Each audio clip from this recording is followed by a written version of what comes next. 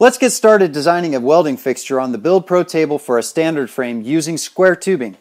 This is the third video in a three-part CAD video series. I'll start by going to the BuildPro website at buildprotables.com to get the CAD drawings of the BuildPro modular welding table, clamps, and components. I'm going to go to the Products tab, which will give me a selection page for every item in the BuildPro line. Let's start with the table drawing. I'm working with the 8 foot by 4 foot BuildPro Max table. This model features the continuous table surface without the 1 and 3 quarter inch table slots. If I were using the slotted BuildPro table, I would have selected the standard tables page. I'm going to download the CAD drawing for the BuildPro Max table. I'll open the step file, save it, and place the drawing in a new folder titled Standard Frame. You may have to save the drawings in a file format that is compatible with your drawing software. The majority of drawings in the BuildPro line are available in both STEP and IGES formats. I'll repeat this process placing all of the clamps and components I'll need for my fixture in my standard frame drawing folder. Now I'll start downloading the clamping elements. I'm going to use the 5-face heavy-duty riser blocks to create the framework for my fixture.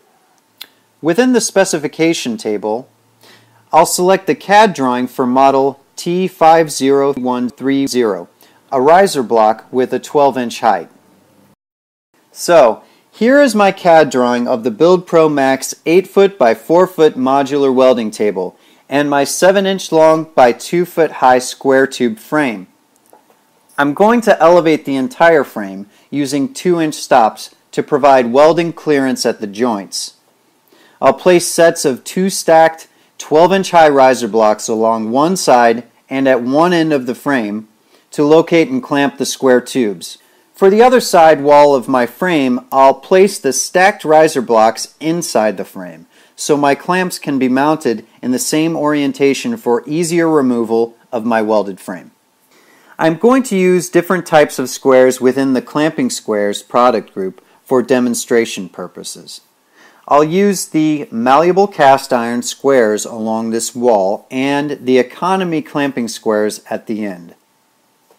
I'll mount the right angle brackets on each square to locate, brace, and clamp the tubing. I'm going to use Inserta clamps here on the table surface to clamp down the bottom tubes of my frame. The Inserta clamps automatically lock into the 5 8 holes on the tabletop for quick set hold down clamping. To clamp the vertical tubes and the top tubing of my frame, I'll place Strong Hand Tools pliers against the right angle brackets. When I set up this fixture on my BuildPro tabletop, I'll preset the spindles on my Strong Hand Tools pliers for the exact opening I'll need in each place on my fixture. That's going to make it very quick to place, lock, and release the large number of pliers I'll be using. Now that I've designed my standard frame fixture, it's going to allow my team to produce this high volume square frame rapidly and with greater accuracy for repeatability.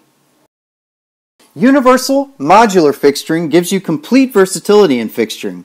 I can adapt the BuildPro table to each unique project, regardless of the size or shape of my weldment, and I know that I can fixture my weldments quickly and weld with precision.